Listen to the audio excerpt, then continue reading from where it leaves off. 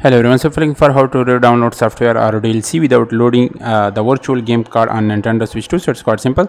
So to do this setting, uh, the first thing you need to do for that is simply go to your profile icon in the top uh, left corner, select the current uh, user that you are currently using it or if you want to change the setting for it.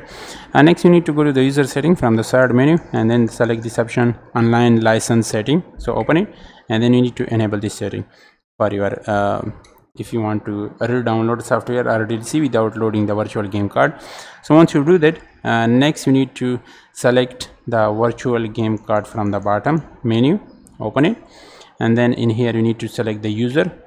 Uh, and uh, once you select the user uh, next you need to select the game or DLC you want to re-download from the list of your virtual game card. Select option and then select download data.